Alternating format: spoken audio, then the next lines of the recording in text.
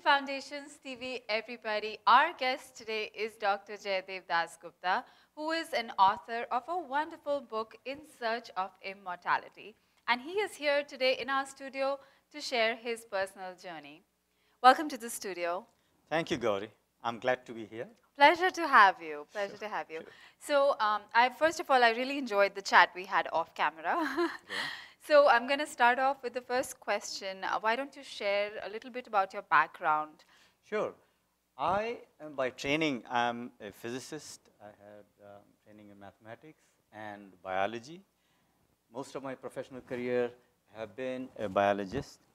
I, the experimental biology uh, background started uh, from TIFR, which is Tata Institute of Fundamental Research in Bombay. From there, I came to Vanderbilt Medical Center and then to the Harvard Medical School, where I spent 10 years as a scientist. I had my own lab. I used to work on human immunology and cell biology, molecular biology. Before I uh, moved out from academia to industry, because I got interested in uh, the application of information technology into biological research, how this technology can be leveraged to improve the drug discovery process in pharmace- pharmaceutical industry. And so in that context, for some time, I had my own uh, company for uh, web-based management of clinical trials. And um, I worked for a number of uh, consulting companies as a life sciences practitioner. I also worked in some in a company developing a product for pharmacovigilance. Uh, we are curating information from social media and developing a profile of drugs for uh, their safety and efficacy. Okay. So that's my background. Wonderful, Yeah. wonderful. So, being a scientist, uh, I listening to all that and looking at this. Now, we need to put the two and two together. When did this start? Journey in philosophy. How did you get interested in that? That had been uh, that had been going on for quite some time because uh, even when I was a student at Punjab University, Punjab University has a fascinating, very huge library. Absolutely, And that's yes, where yes. I first got some very good books on Indian philosophy, Buddhist philosophy. And uh, so, um, aside from reading science and biology and physics, I started reading those things also. And uh, that uh, interest in Indian philosophy lasted um, throughout. So, even when I was working as a scientist, I would spend some time, almost every week, reading about Indian philosophy.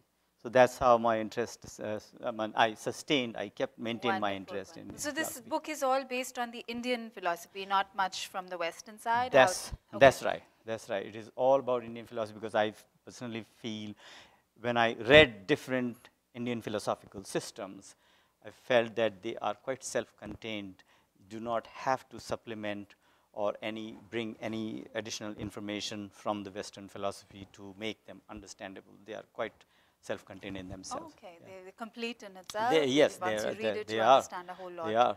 They are. Wonderful. They are very good system. Now, um, the, the name of the book, that's, that's an interesting one. So, In Search of Immortality, how did you come up with that name? First of all, uh, the, the, um, my, uh, the intention behind the book yeah. uh, was to give the ideas, the core ideas of Indian philosophy, and show how that uh, the different ideas evolved over the last 3,500 or 4,000 years, starting from the Rig Veda, how those ideas evolved. But uh, so I, initially, I named my book as an introduction to Indian worldview or Indian philosophy. But then um, uh, I also wanted to, uh, I did not want to make it just for philosophy student. I wanted this book to be uh, read by usual regular people, educated people, those who are interested in learning about our system. And so uh, the editor basically thought it would be better if I gave a lighter title to the book. And um, one of the sections here in the book is In Search of Immortality. And I was just thinking about what should we do about this title. My wife also suggested that I should give a lighter title to the book. Um, and so this is the title I came because the, throughout the journey or throughout the, our Indian philosophy, uh, finding immortality and freedom is the core idea. Okay. Yeah. Okay. That's interesting. That's actually. Uh, I'm so glad that you brought a copy of the book because I was going through it and, you know, obviously I just went through it for a few minutes, but it was interesting enough. It, it engaged me. It captured my attention. One of the reasons I, I think it did was uh, I saw some of your chapters. Um, the heading of the chapters were in the form of a question: Who am I? You know, and uh, some of them were like, uh, "What is life? Why did God create the earth?" And Yes. things like that. So it's more like where did the world come from? And so it's it's very interesting. I think that immediately gets the attention of the reader. they right. want to find out because that that kind of starts a little uh, process in their own mind. You know, gets them thinking, uh, and then they want to find the answers. So that's that's really nice. That's very Sure. good. Uh, and that's the, uh, that's the uh, reason that I gave these questions. A number of places throughout the book, I have raised number of questions just to pull the reader in instead of just glossing through the sub, uh, Right, substance and reading it. Um, basically raising these questions, and of course, I'm addressing those questions later on. Uh, Right. But I want uh, the reader to be engaged when they read it. It, it's very beautifully written, and I, I honestly I love the cover and the quality of uh, the printing and everything too. Thank so it's, it's a great. Thank it looks really nice. So Yes.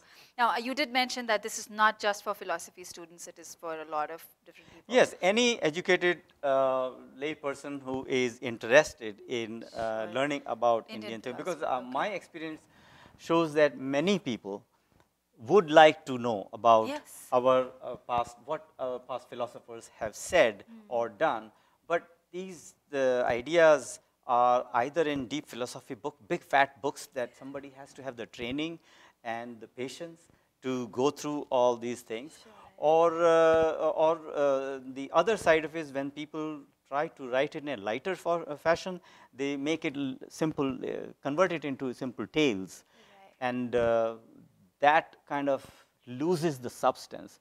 So I try to bring the mythological tales also with philosophical. What is the philosophical side of it?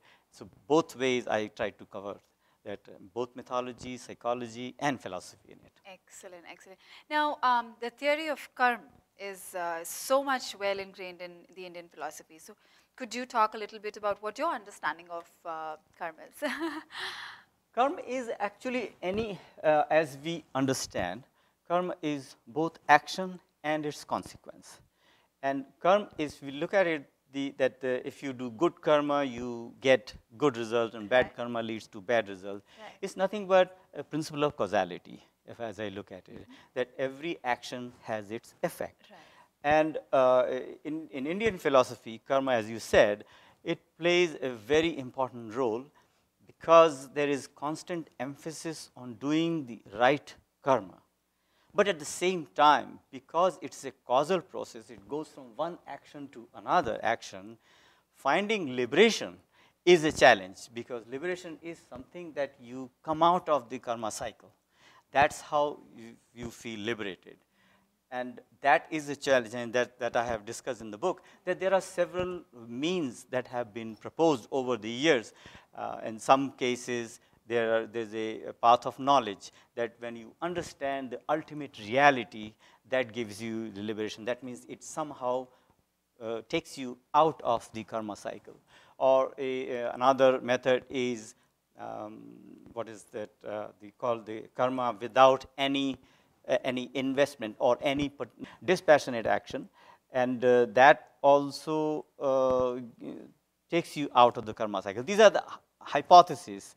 Nobody knows if it actually happens or not. right, right. And the third path is the path of bhakti or devotion, that when you are devoted to a deity or a god and uh, give all your action, perform all your actions in the name of that god, it is assumed that you are out of that uh, karma cycle. So these, these ideas have evolved over time from right, the Vedas to the Upanishads and later on to Bhagavad Gita, which is very heavy on the devotional side, though it has all three paths path of knowledge, path of action, as well as path of uh, bhakti or devotion are uh, given in that book. But it, it champions essentially the bhakti path. Lovely. So, what it seems to me from our discussion and from looking at the book, looks like uh, years and years of reading and gaining knowledge has been, uh, you know, compiled into something which is a simpler version of Yes. uh, the Indian philosophy. And at any stage of our lives, if we have any questions about it, it's a good book to pick up and read and try to find answers that may apply to you as an individual. I would think so. I would love to Yeah, think so. yeah. That it's a it's a book where I have tried to give those central concepts of Indian philosophy Right. um, and how they have evolved in a simple fashion that do not need any prior understanding of our religious Sure, systems or yeah, anything. Yeah, yeah, that's interesting. So um, I'm sure after this, this discussion, you know, there will be people, listeners, viewers who would be interested in getting a copy of the book. So where can they find your book? I, I, I published this book in India. Okay. So in India, it is on uh, Amazon India. Okay. So far, the book, uh, the editor has, uh, or the uh, publisher has said that uh, once the book comes here, then it will be put on Amazon Okay. US also. But uh, there's a website created Okay. where through which this book can be acquired here also. The website Okay. is www.jaidevdasgupta.com. And this is J A I D E V dasgupta.com. Wonderful. We'll share that as well with our Oh, viewers. That's wonderful. Now, before we end the interview, I do want you to sign me a copy. Sure, Since I have the author with me, I might as well. absolutely. Right? Thank you. Thank you so much. Sure. Thank you for being here today. And thanks for having me here. Pleasure.